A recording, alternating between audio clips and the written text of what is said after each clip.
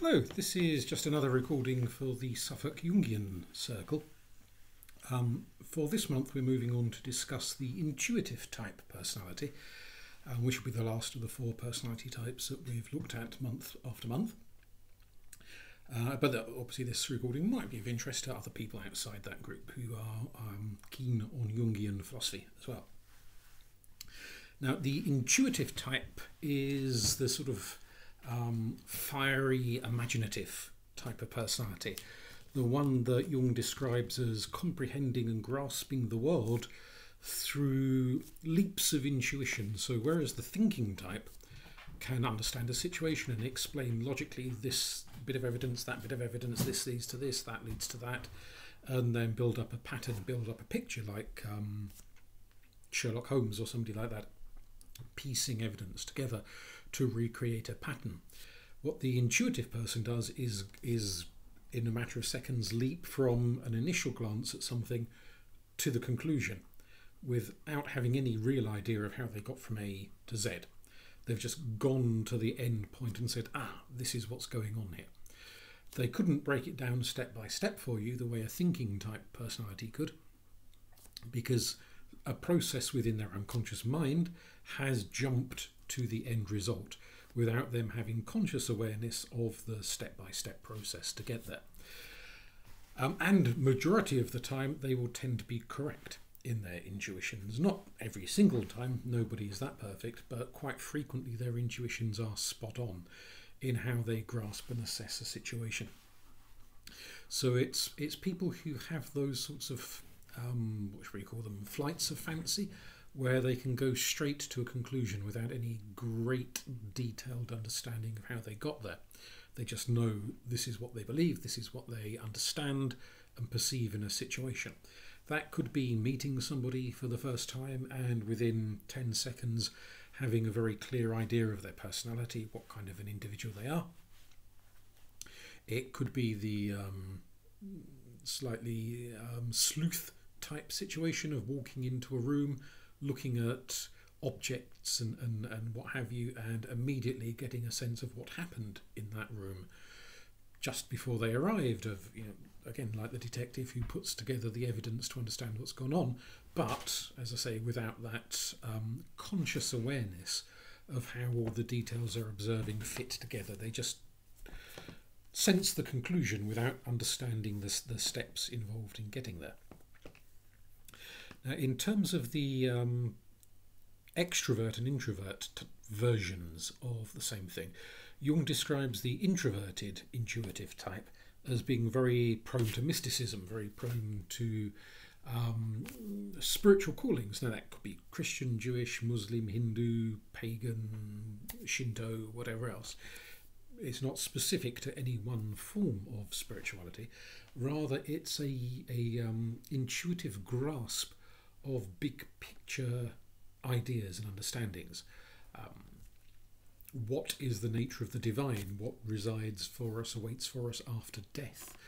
Um, walking into a, a, a beautiful glade and immediately feeling the noumena, the spirit, the presence of the glade, not having any rational, practical explanation of it, but just knowing it's there, feeling it, sensing it, intuiting it and building a, a spiritual rapport with it on the basis of that intuition.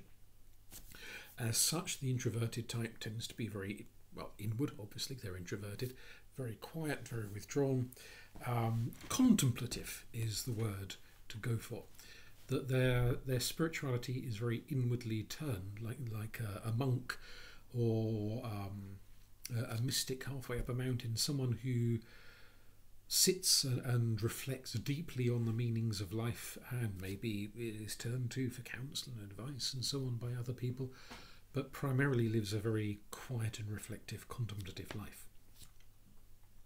The extrovert intuitive is more, and I hesitate to use this word because it has negative baggage for a lot of people, but let's go for it anyway, zealous in their their spiritual grasp, their vision, their their mystical bent goes outwards into wanting to share it with other people. Now, that could be in the way that Christians and Muslims and various other religions do of, of conversion, wanting to go out and convert other people to your way of, of viewing the world. But it, it could also be um, not so much conversion bent as a desire to help people, to um, share, as, as Christians often say, share the good news.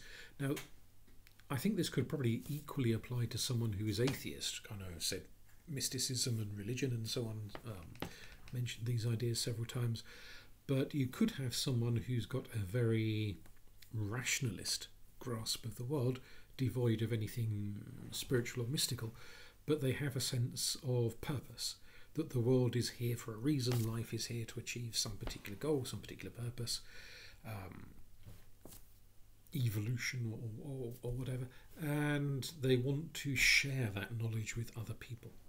They want to convert other people to their non belief, in a sense, to, to spread the, the vision they have of what is true, what is right, what is proper with other people, to, to engage at a community level with them. Now, that community level, um, I'll keep mention conversion several times. It could be a community based of people who already believe anyway. So no one is being converted to anything, it's pre existing believers. But that wish to share the joy of a philosophy, to share the conviction of truth, of the world is a certain way and we're here for a certain purpose, to, to share that with other people, not necessarily to convince them of something they didn't believe, but to nonetheless share with them. That's the, the extroverted, outgoing part.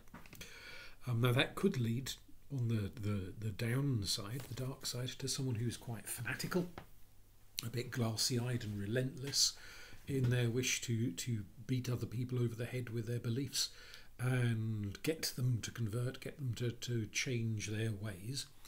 Uh, and speaking of which, it could be um, obviously you get you know, very um, intense um, ex smokers or very intense vegans or very intense um, reformed drug addicts or whatever. People who are convinced that there is a better way to live life than the way a lot of other people live it, and so that their wish to share might not be spiritual in the usual sense of you know, mysticism and gods and goddesses and so forth. It may be based on diet, it may be based on um, some sort of therapeutic approach to life which says drink and drugs and booze are unhealthy and clean living is the way to go. And maybe that kind of intensity, that kind of conviction of what is a true way to, to be, behave, a true way to be and a wish to share that with other people, whether that is um, getting other people to go on the wagon, or whether that's going along to an AA meeting and, and just just sort of sharing the joy with people who are already on the wagon. Could go either way, but nonetheless, that desire to share. Uh, but that again, whether, whether someone is trying to convert you to Christianity, or they're trying to convert you to veganism, or they're trying to convert you to teetotalism, that can get a bit oppressive and relentless if they're very relentless in their convictions. And so the, the, the, the downside of this, of excessive extroverted intuition, is somebody who, ironically, lacks the sensitivity to read the body language of other people and realise when they're getting bored and fed up with being preached at. It keeps going on and on and on and on because they're so convinced that their their vision of the world is the right one, that why wouldn't other people want to participate in it and share it? So it could become excessive, and the the the the dark side, the downside of excessive intuit, um, introverted intuition, is somebody who's so withdrawn into themselves, so retreated up their own inner world that they pretty much lose contact with the real world around them, the, the external world. They, they no longer know quite how to talk to people about anything, quite how to engage in daily life. They're just lost in this this sort of somewhat airy fairy realm. And that could, I, I think we've mentioned in some of the other, um, well, online discussions, if not necessarily in the podcasts, that um, you, you do get the whole phenomena uh, in the modern world, and it goes back to Victorian times, of fandom, of people who are um, not so much true believers in uh, a religion, but are, if we can put it like that, true believers in a fictional universe. They're, they're mad keen on Game of Thrones or Doctor Who or Harry Potter or you know, whatever it may be. Um, and, and, they think it's the best thing since sliced bread, and they love being with other people who also adore their genre so that they can share the enthusiasm that they have. But they'll also sometimes be quite relentless in sharing that enthusiasm with people who aren't remotely interested, and that they kind of go on and on and on a bit. So it can be the extroverted bit, but also introverted in that they're so um, immersed in their fictional universe that they pay less and less and less attention to the actual universe uh, and become abstracted from it and, and find it too too boring, too dreary, too troublesome, too whatever. That they, they just no longer want to engage with humdrum everyday reality, which, whilst perfectly understandable, I think at times, is nonetheless not not a healthy thing in the long term. And if you just want to have a you know immerse yourself for a few hours here, a few hours there, fair enough, that's not an issue. But if you've got somebody who's immersed themselves for three years solid in a, another version of reality and completely lost touch with actual reality for that three years, then that clearly is getting rather problematic and, detracting them from engaging with daily life and real life. So there is that risk of retreatism with the overly introverted type the withdraw into a, a realm of imagination. Um, the positive expression would be someone who takes their imagination, dreams up better ways for the, the world to be, and then goes out there and tries to make it happen. So that they're using their imagination to inform reality rather than retreat from reality. That would be a more constructive um, expression of, of the process. Um, underdeveloped intuition, someone who's who's got a very stunted intuitive side, so they'd be very heavy on sensation, very light on intuition. Um, Jung himself says are very prone to psychosomatic disorders because they are um, so immersed in their body that their grasp of a wider reality, which is kind of what intuition brings you, is a grasp of, of the bigger picture, is is cut off, and it starts to undermine their body. It starts to, um, like the the creature locked up in the cellar, banging on the door, demanding to be let out, and, and causes problems. So their their imagination imagines problems in their body, imagines illnesses, dreams up fictive disorders uh, uh, and hypochondriac worries um, rather than their imagination expressing itself in a, a, happy, joyful, constructive fashion.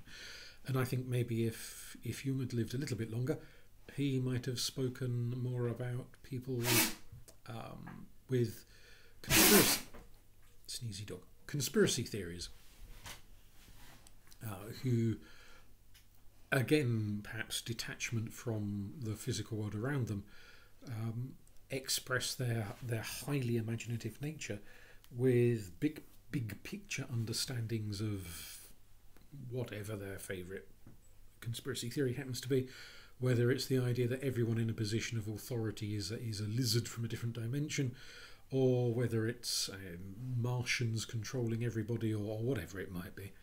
Um, that they descend into ever more fantastical, paranoid expressions. Uh, and part of it is also perhaps a bit of a, a retreat, um, because the world is perceived as a fearful place rather than as an exciting and imaginative, and wonderful place. It becomes a, a dimension filled with imagined threats rather than imagined opportunities. And I'm not suggesting that every person who's got a touch of paranoia is imagining it, um, as somebody or other once said, just because you're paranoid, it doesn't mean they're not out to get you. Because clearly there, there are conspiracies, criminal conspiracies and so on that go on in the world. They just tend to be very small scale rather than massive, grandiose conspiracies. Um,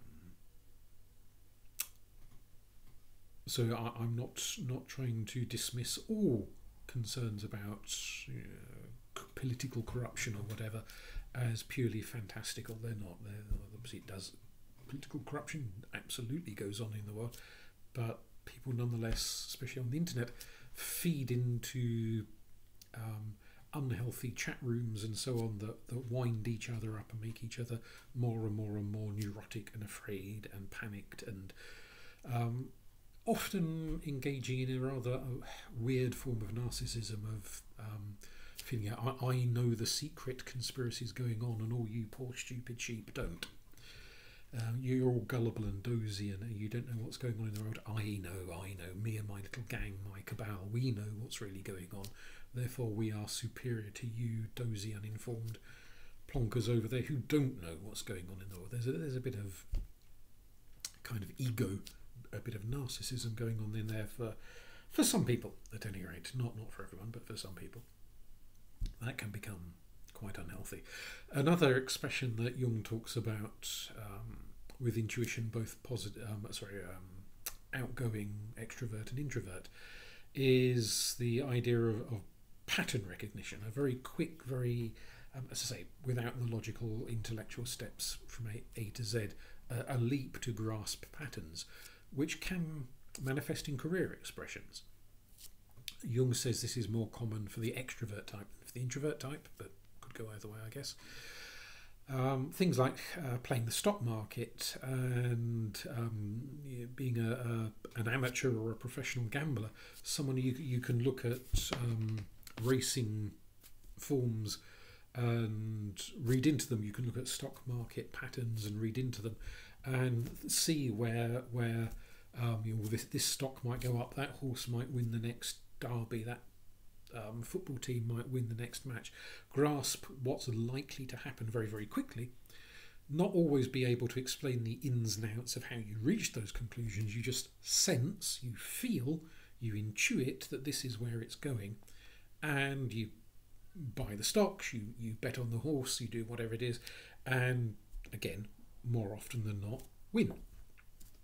Because people with, with this sort of intuitive pattern um, are usually very accurate in the way they read things, even if that half the time they haven't got a clue themselves how they read things. It's, it's just like this sort of sudden magical flash of understanding that that's what's going to happen next. Um, the intuitive types, the ones given, um, the introverted intuitive types, more given to mysticism, can also be given to things like prophetic dreams and being very good at reading crystal balls and tarot cards and, and so forth, um, acting as mediums and clairvoyants because they're very good at, again, picking up on patterns that are going on and being able to, oh, I, I, I sense so and so thing is going to happen. And frequently they're right. Now, the, the cynical might think more in terms of cold reading, uh, you know, looking at the fact that somebody um, has a wedding ring or whatever and then, then saying something about that. Uh, that undoubtedly does go on. There are um, jaded readers and circus acts and, and, and stage acts and what have you who do rely heavily on just reading body language without any, anything mystical whatsoever about it. They're the ones who could explain to you the, the series of steps they're following to reach the conclusion that they attain. It's the, the more mystical end of the market that have no idea why they know that this um, man is going to meet the woman of his dreams next Thursday and have three kids and get a promotion at work. They don't know why they know that, they just know it and they present the inf- well they might present the information accordingly. Some people choose to keep the information to themselves, of course, but they might well share that with others and, and pass it on down the line. Uh, so there, there is um, a, a kind of magical element for Jung within the intuitive personality type, even though it would include people who are very rationalistic, atheistic in other respects and who do not subscribe to mysticism, but nonetheless have these these great convictions about how the world is and how people ought to live their lives, and and um, leap to conclusions without understanding how they got there in the first place, because it's their unconscious is moving so rapidly, it circumvents the conscious mind at reaching an answer. So it can be mystical but isn't always mystical. Um, there, there's a uh, a phrase within um, Irish poetry, which is early Irish poetry, which is sometimes translated as fire in the head. Occasionally, it's translated as the, as the head afire with smoke. This idea of burning intensity and a sort of spiritual vision, and certainly amongst the um, Empedoclean school of ancient Greece, with the four elements earth, air, fire, and water. Um, intuition and fire are the one two most closely allied to each other. Um, so the intuition is the fiery element, as it were. Um, all the way back to the days, and well, I say the days, and we still do it today, can't you? But maybe more common in earlier centuries before electricity and, and um, gas mains and so on, when people had coal fires and log fires the, the practice of pyromancy, the art of just sitting around a fire, or a candle, even, let alone a fire, and allowing your mind to drift off, and you start to see shapes and colours and, and imagery in the patterns of the fire. Uh, like when Lucy meets Mr. Tumnus and he's playing music in his house and she's drifting off, watching the fireplace and seeing images appearing in the flames flickering before her it's a human practice going back to the year dot. And I strongly suspect it's also the appeal of um, fun fairs and, and um, one armed bandits and, and, kind of the gambling machines you get in casinos and at the end of piers and so on. They have not um, all the, the noises, of course, but also lots of them have flashing coloured lights.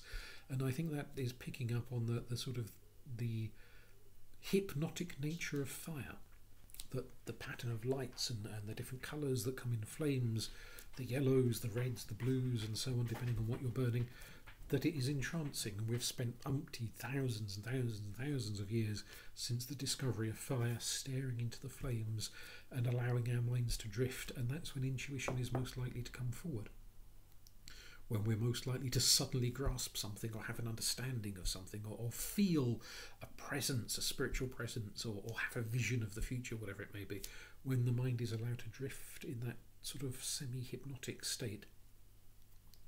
And certainly that Irish poetry, when it talks about um, the fire in the head, that I think is, is very much what it's getting at that, that idea of uh, um, a mind adrift in the realm of intuition, blazing and burning with intensity. There's also um, a, a folk tale, fairy tale, whatever you want to call it, from Irish myth of the Leanan Sidhe, um, the fairy mistress. Uh, the fairy mistress is, is less fairy in the, in the sense probably most people would imagine a fairy than it is more like a vampire, if anything in that the Leanan Sidhe drains people of energy, but it does it in a very weird way. The Leanan Sidhe is drawn to creative types, artists, musicians, singers, and so forth, and it predates upon them, and it fills them up first with energy, and they have this this intensity of uh, knocking out a hundred paintings or composing a dozen concerts or, or um, writing 15 novels, they, they go into this, this creative frenzy. And the, the, the, the she the Leanan Sidhe, eats up the energies that are coming off them, feeds off their creative juices. Like a, like a, a muse, but with a very dark edge, because eventually the artist burns out. They have this intense creative energy thrust, and then at the end of it, they are dead. Not metaphorically dead, plain old fashioned dead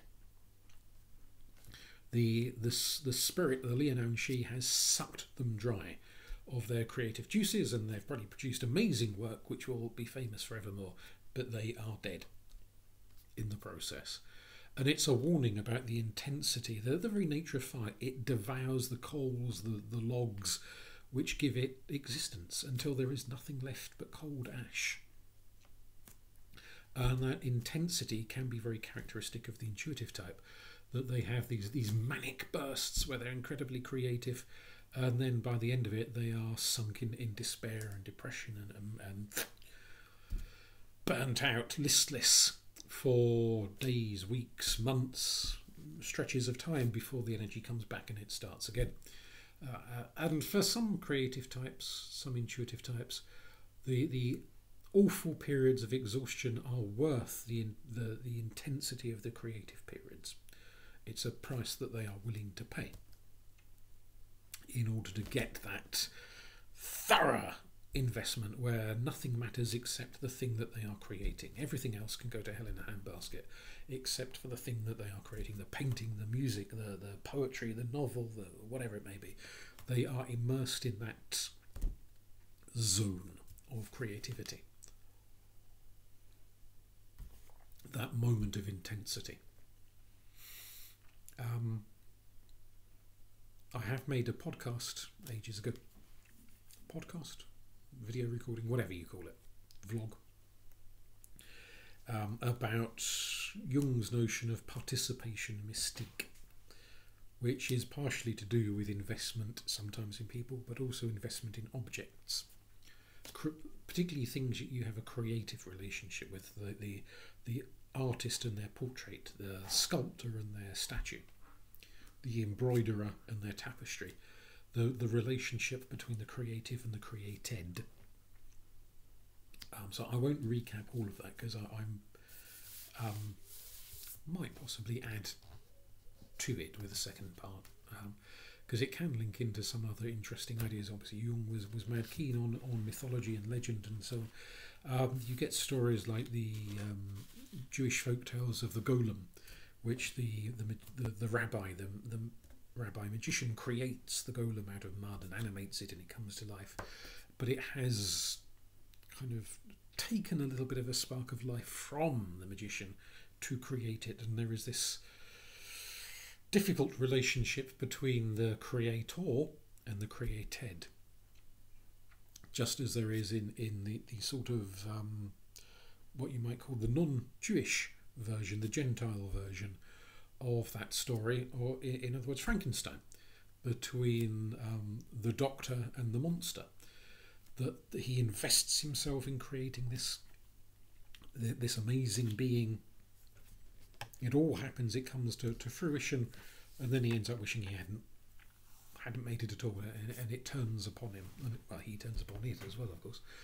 Uh, there are many authors, Conan Doyle, Agatha Christie, who created fictional characters who made them fortunes and they churned out loads of books and, and whatnot about them, and then eventually reached the point where they were sick to death of their own um, fictional creation and thought, I never want to write another bloody story about so and so again.